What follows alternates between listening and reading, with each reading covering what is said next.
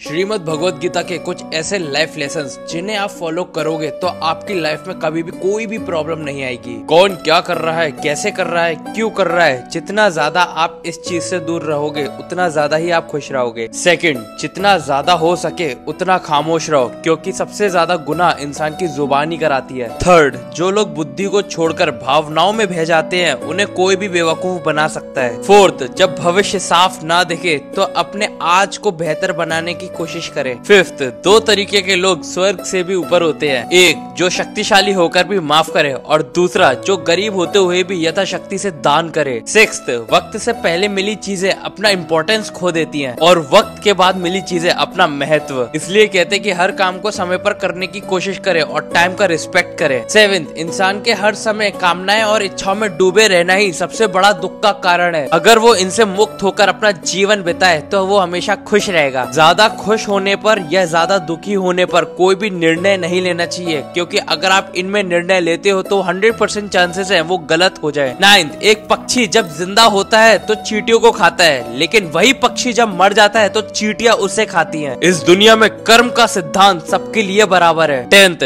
ना तो ये शरीर तुम्हारा है ना तुम इस शरीर के मालिक हो ये पांच तत्वों से बना हुआ शरीर एक दिन आपके मरने के बाद वापस से इन पांच तत्वों में मिल जाएगा तुम्हारा अधिकार सिर्फ कर्म पर है तो इसलिए अच्छे कर्म करने पर ध्यान दें वीडियो पसंद है वीडियो को लाइक करके चैनल को जरूर सब्सक्राइब करें